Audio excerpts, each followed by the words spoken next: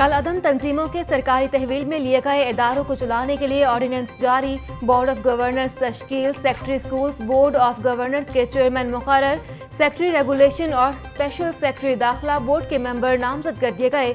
Notification جاری۔ حکومت نے کل عدم تنظیموں کے دو سو سے زائد مدارس اور اسکول تحویل میں لے رکھے ہیں۔ ذرائع محکمہ داخلہ۔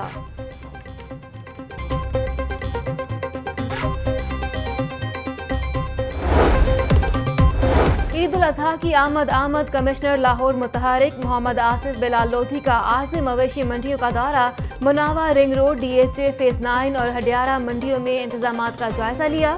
کمشنر کا دو اگست تک شہر کی تمام سات منڈیاں فعال کرنے کی ہدایات۔